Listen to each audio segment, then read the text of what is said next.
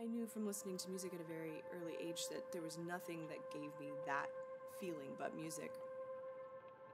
That magic feeling, that intangible. And I remember when I first wanted to play guitar, I saw the movie La Bamba,